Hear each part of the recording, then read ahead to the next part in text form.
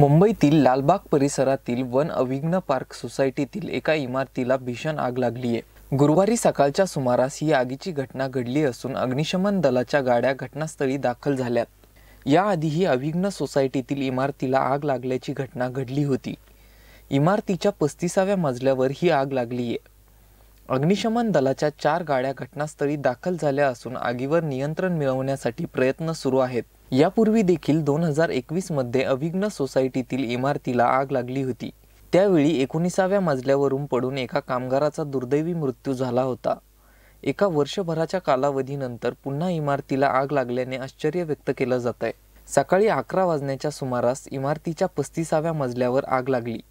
आगीत कोणतीही जीवितहानी झाली नसल्याची माहिती आहे. मात्र आग कशी लागली याचे कारण अद्याप अस्पष्ट आहे. आगीवर नियंत्रण मिळवण्याचं काम युद्ध पातळीवर सुरू आहे. ही इमारत करी रोड स्थानकाच्या जवळ असून आगीच्या घटनेनंतर इमारतीतील रहिवाशांना तातडीने बाहेर काढण्यात आलं. त्यामुळे मोठी दुर्घटना टळली आहे